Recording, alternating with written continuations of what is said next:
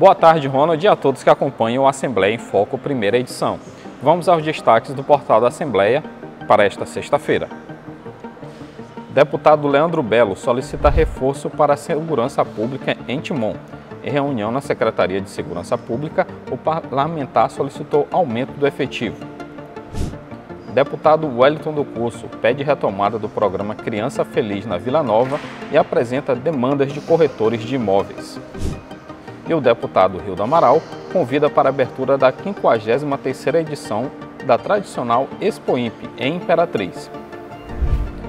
Para acompanhar as reportagens completas, acesse nosso site al.ma.leg.br. Com você, Ronald.